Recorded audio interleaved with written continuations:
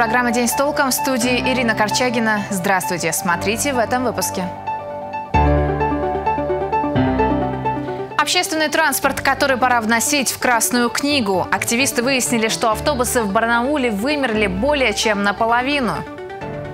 Страх клаустрофоба. Жильцы барнаульской многоэтажки жалуются на непредсказуемый лифт.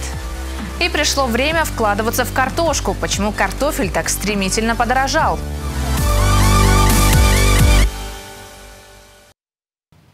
Алтайском крае цены на картошку бьют рекорды. Несмотря на то, что урожая в этом году собрали больше, чем в прошлом, стоимость молодого картофеля выросла в два раза. С чем это связано и стоит ли ждать снижения цен, расскажет София Яценко. 100, 200, 400. Таких цен на картошку жители Алтайского края еще не видели. Стоимость одного из самых доступных овощей теперь стала заметно бить по карману. Только один килограмм кругленькой обходится в среднем в 40 рублей, что в два раза превышает стоимость прошлого года. Так мешок картошки весом 35-40 килограммов обойдется в более чем тысячи рублей. Дорожала, ну практически в два раза. Так что вот а где сейчас вот дешевле ее приобрести? Даже не знаю. Это надо ждать, может, или ярмарку, или где. Или, может, на полях, где копают, туда выезжать. Вот только снижение цен на второй хлеб, по словам специалистов, ждать не приходится. По прогнозам фермеров, цифра будет только расти, а предприниматели и вовсе ждут пика, чтобы продать картофель как можно дороже. Причина такого резкого скачка цен в крае – неурожайность в других регионах страны и ближнего зарубежья. Потому что картошка урожай мало. И отсюда вывозят, по-моему, не знаю. Картошку вывозят много за за Урал туда возят, в Казахстан. Там у них засуха была, урожай. А вот на Алтае урожая оказалось достаточно. Более 4 тысяч тонн картофеля, что на треть больше, чем в прошлом году. И, видимо, решили, что такого количества для нашего края явно многовато. К слову, в магазинах ее пока еще можно купить по адекватной цене. Правда, здесь она все же отличается от той, что на рынке. Впрочем, цена на корнеплод теперь будет кусаться и в других регионах. А в следующем году, говорят эксперты, килограмм картошки будет стоить не меньше 100 рублей. София Ценко, Данил Захаров. День с толком. Водоканал перенес отключение воды, которое должно было состояться завтра, 1 октября. Водоснабжение планировали ограничить утром ровно на сутки. Однако работы по замене запорной арматуры, а это и есть причина отключения, решили перенести на 3 октября. В водоканале это объяснили тем, что в воскресенье школы, детские сады и поликлиники будут закрыты. Отключение воды могло парализовать их работу. Также в водоканале сообщили, что замена запорной арматуры позволит в будущем существенно существенно минимизировать зоны отключения при устранении повреждений. И к другой теме. Пять районов Алтайского края до сих пор не вошли в отопительный сезон. Об этом в ходе онлайн-пресс-конференции сообщил министр ЖКХ Иван Гилев. Напомним, в Алтайском крае из-за резкого похолодания подача тепла стартовала на две недели раньше, чем в прошлом году. В целом же подготовка к отопительному сезону находится на завершающей стадии, отметил министр. Готовность муниципалитетов составляет 99%. Э, Однако в некоторых домах и социальных объектах э, Курского, Третьяковского, Мамонтовского, Михайловского и Хабарского районов по-прежнему холодно. Примерно 21 тысяча многоквартирных домов у нас, а, которые, домов вот так, а, которые подключаются к системе центрального теплоснабжения. Из них а, подключены практически все, за исключением порядка 300 домов. Это вот те муниципалитеты, которые я озвучил, которые должны подключены быть ну, в ближайшие два Министр также отметил, что в этом году на ремонт э, системы теплоснабжения края направлено более миллиарда рублей из бюджета края. На эти средства были э, заменены 190 котлов и 130 километров теплотрасс. Наконец-то встретились. Сегодня избранные в сентябре депутаты Краевого законодательного собрания впервые собрались в региональном парламенте. Правда, причина сбора официальная. Таким образом, был дан старт политическому сезону нового восьмого созыва АКЗС. Во-первых, э, участникам вручили удостоверение об избрании, а во-вторых, э, избранные депутаты сформировали организационный комитет, у которого важная функция. Организационный комитет соберется на свое заседание для того, чтобы предложить повестку заседания первой сессии Краевого законодательного собрания, которое состоится 7 октября, и, соответственно, все, всю структуру, все руководящие должности нового созыва комитете всего 16 человек. Это 8 депутатов-одномандатников, еще 8 по партийным спискам, пропорционально числу занимаемых кресел от каждой фракции. Так и сторожил в оргкомитет вошли единороссы Татьяна Ильюченко и Сергей Серов, справедливороссы Александр Молотов, из новичков единорос Антон Васильев, Елена Хрусталева от КПРФ, Сергей Матасов от коммунистов России. Один из самых волнующих сейчас вопросов – кто возглавит краевой парламент нового созыва? Барнаульский общественный транспорт можно помещать в Красную книгу, ведь он вымер уже более чем наполовину. В этом уверены городские активисты, которые накануне провели свой рейд. Выяснилось, что многие автобусы просто не выходят на рейс. В чем причина и как решать вопрос с маршрутами, не доводя город до транспортного коллапса. Не так давно вышла статистика, согласно которой в среднем житель России тратит 6 часов в неделю на общественный транспорт. Наверняка то же самое касается и барнаульцев, особенно которые живут в отдаленных районах. Но сегодня мы хотим задаться вопросом, а сколько пассажиры тратят своего времени на остановках в ожидании автобуса, который не торопится к ним ехать. Потому что общественный транспорт в городе вымер более чем наполовину. В этом уверены активисты организации «Гражданский патруль» и «Транспорт Барнаул». Общественники провели свой рейд и выявили, на этих маршрутах картина особо печальная. Где-то вместо 16 автобусов ходит один, где-то поломки, износ, не хватает водителей, где-то вместо больших автобусов на рейс выходит транспорт малой вместимости. Один из наших участников решил выйти в Ленинском районе города Барнаула и понаблюдать за движением автобусов 137, 138, 149 маршрута. За полтора часа он не увидел ни одного автобуса из этих маршрутов, кроме э, двух автобусов. Один буксировал, другой сломавшийся автобус. То есть маршруты сходят с линии. Ну, вот, например, у меня 24-й автобус очень редко стал ходить. Я не знаю почему. Раньше хорошо можно было уехать. Что больше всего раздражает э, в транспорте общественном в нашем Барнауле? В остановках, что транспорта мало, а людей там много, толкучка. Я сама работала в этой сфере в двухтысячных, и было очень плохо. Было очень холодно, было очень грязно, грязно в том плане, что все было сгнившее, все. Потом был какой-то период, когда парк маленько поменяли, стало лучше. Ну а сейчас опять идет все к тому, что все снашивается, надо менять. Менять, ну на что? Общественники уверены, без господдержки барнаульскому транспорту не выжить. Необходимо участие в госпрограммах по обновлению транспорта. Ведь списанные московские трамваи, как и очередное повышение цен на проезд, проблему не решит. И перевозчикам, по мнению активистов, пора бы уже перестать прикрываться нехваткой средств. В прошлом году у нас были такие битвы за конкурс, за место, работать на маршруте, судились в арбитражном суде и тому подобное. Но если это невыгодно, любой предприниматель просто уйдет и не будет выходить на маршрут. Общественники, которые затеяли рейд, обратились в прокуратуру Барнаула и Роспотребнадзор с просьбой провести проверку. Ведь впереди зима, а значит пробки, поломки и не исключено обморожение на остановках. Ирина Корчагина, Дмитрий Денисов. День с толком. Дело бывшего министра Алтайского Минтранса Александра Дементьева рассмотрят в суде уже на следующей неделе. Напомним, чиновника содержали в июне этого года по подозрению в получении крупной взятки.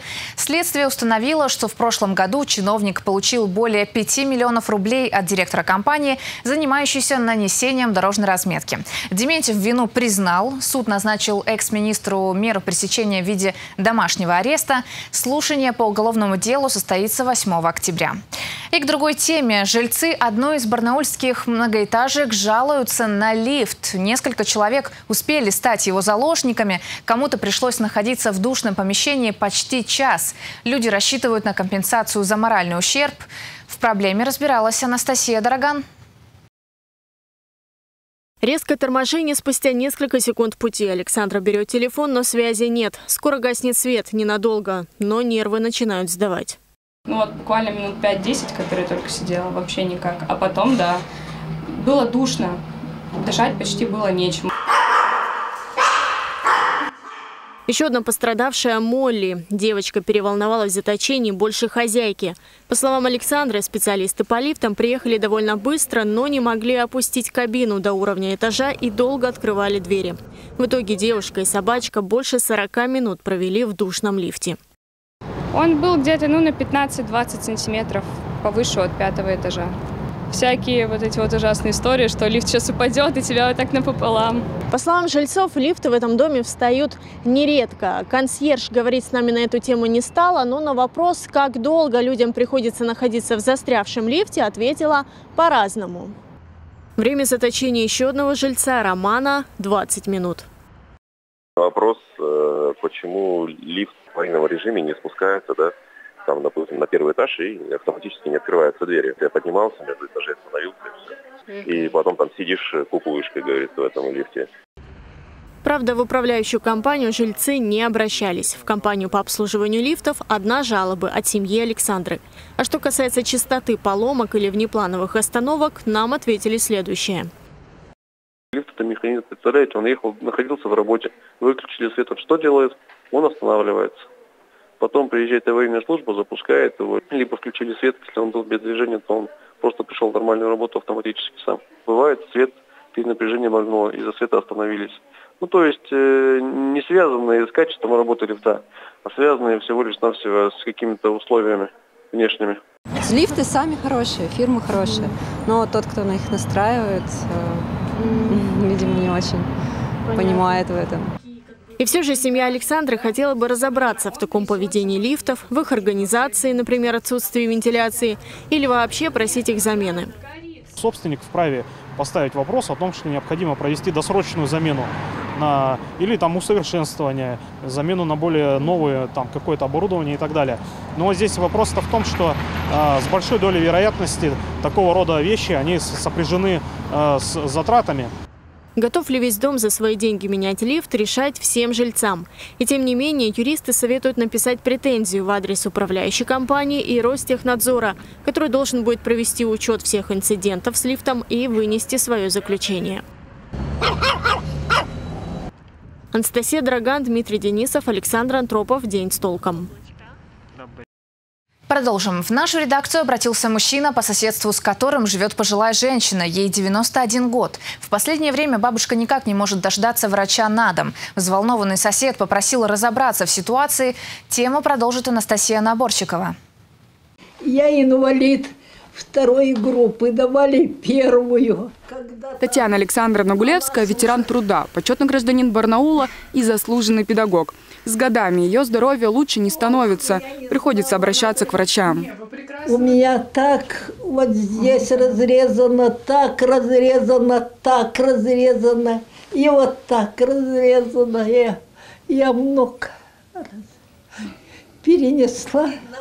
В поликлинику в свои годы уже не доходит, вызывает на дом. Но врач в квартире не был давно. Справедливости ради скажем, что доктора приходят, но простояв под дверью, разворачиваются и уходят. Из-за проблем с ногами Татьяне Александровне сложно быстро и своевременно встретить специалиста. Если дома нет детей или соседа Александра Александровича, бабушка становится беспомощной. Врач засунул сюда записку вот эту, да? Да, да, да. да. Собственно, как ее нужно было найти? Но Коротко говоря, врач пробыла у двери ровно 15 минут. Чтобы разобраться в ситуации, мы направили запрос в Краевой Минздрав. Там объяснили, каков сейчас регламент работы участкового врача. На осуществление одного вызова на дому предусмотрено 30 минут. Если на адресе не открыли дверь, медицинский работник ставит в известность регистратора и оставляет в дверях записку. Иногда медработники обращаются к соседям, чтобы узнать, по какой причине больной не открывает дверь. Вызовы обслуживаются практически всегда, если только ее впускают в квартиру. Я вам говорю, она а сколько должен врач стоять ждать? Здесь есть какой-то регламент? Нисколько не должен. Подожди, подожди. Татьяна Александровна благополучная, регулярно ходит лично к главному врачу, он лично с ней лично провожает на дом. Еще, как следует из регламента, по истечении 30 минут медработник может поехать на следующий вызов. А чтобы помощь врачей наша героиня все-таки получила, должны вмешаться сотрудники социальных служб. Правда, если к ним обратятся. Да, эту проблему мы можем помочь решить только в том случае, если э, социальный работник предупрежден и извещен о том, что придет медицинский работник. Человек выбирает услугу, покупка продуктов, там, уборка квартиры. Конечно, мы можем сделать Вызов врача, кстати, тоже является услугой. Мы можем вызвать врача и можем, например, свой приход и свои услуги как раз э, э, с временем прихода врача э, сопоставить. Как нам стало известно, Татьяне Александровне помогают дети и внуки. Со слов родственников, бабушка не готова принять дома работников соцслужбы. Якобы стоит это дорого.